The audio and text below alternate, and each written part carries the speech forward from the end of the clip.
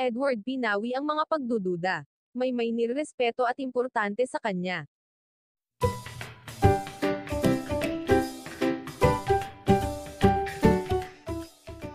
Yes, you heard it right. Yan mismo ang sinabi ni Edward sa kanyang interview in Showbiz Pamor. His exact words are, There isn't much to show kung wala si Maymay. I'm a very, very simple guy. Mapagbigay ako as a person. I always want someone to give something to. Either that be love or friendship, care, honesty, respect, lahat. And Maymay is the only girl outside of my family that I'll give that to. Basta, very important, very important.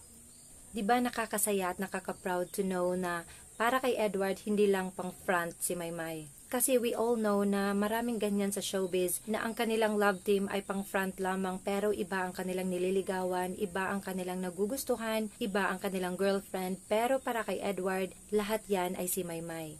His inspiration, his motivation, his partner, his best friend, and the most important girl in his life. Pero kung as a girlfriend, hindi na muna natin yan babanggitin dahil in private pa yan sa kanilang dalawa. For me, eto yung rason kung bakit nanatiling malakas at lalong dumadami ang Mayward dahil totoo si na Maymay at Edward sa isa't isa at totoo ang nararamdaman nilang dalawa. Comment down sa sang-ayon dito at salamat po sa panonood.